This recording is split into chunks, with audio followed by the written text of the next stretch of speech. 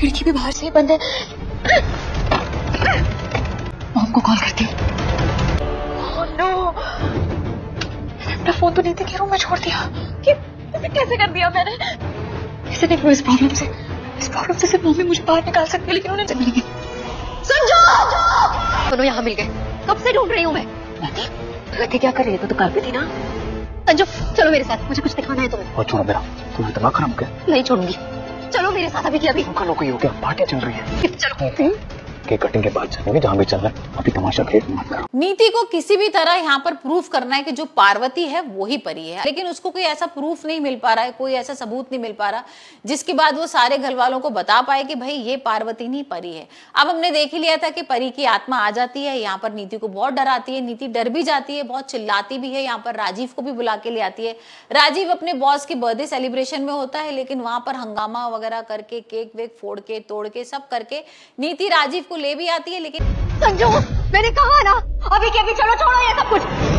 ज़रूरी है वो दिखाना जो मैं तुम्हें दिखाना चाहती हूँ। चलो। तुम्हारा दिमाग खराब हो गया क्या?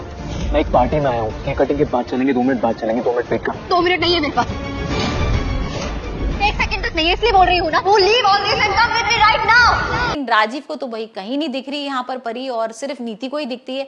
तो अब सबको ये लग रहा है कि नीति का जो दिमाग है ना, वो थोड़ा खराब हो गया है। यहाँ उसने अपने सेंसेस लूज कर लिए हैं।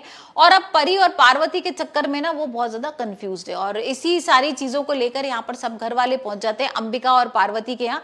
ये देखने के लिए कि वाकई में भाई वो परी का ही भूत था, या पार्वती परी बनकर डराने आई थी। अब यहाँ पर जब घर में जाते हैं तो पहले अंबिका बहुत गुस्सा करने लगती है, और भाई वो बोलती है कि ये क्या तरीका है आपका आने का?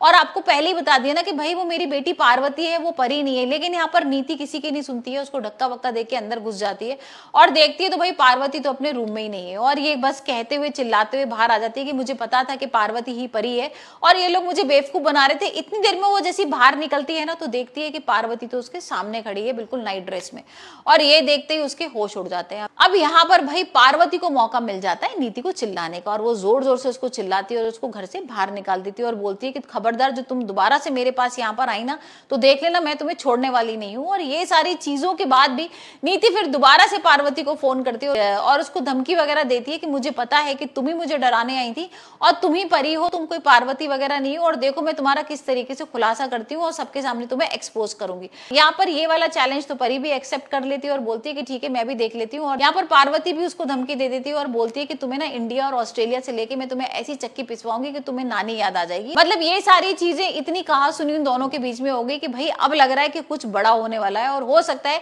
कि अब पार्वती का सच सामने आ जाए यहाँ पर, क्योंकि राजीव सबसे ज़्यादा कंफ्यूज है। राजीव को नहीं समझ में आ रहा है कि परी है या पार्वती है, क्योंकि यहाँ पर भाई उसको अचानक से परी चली गई थी ना तो। और यहाँ पर राजीव को लग रहा है कि अगर ये परी है तो ये पार्वती बन के वापस क्यों आई है?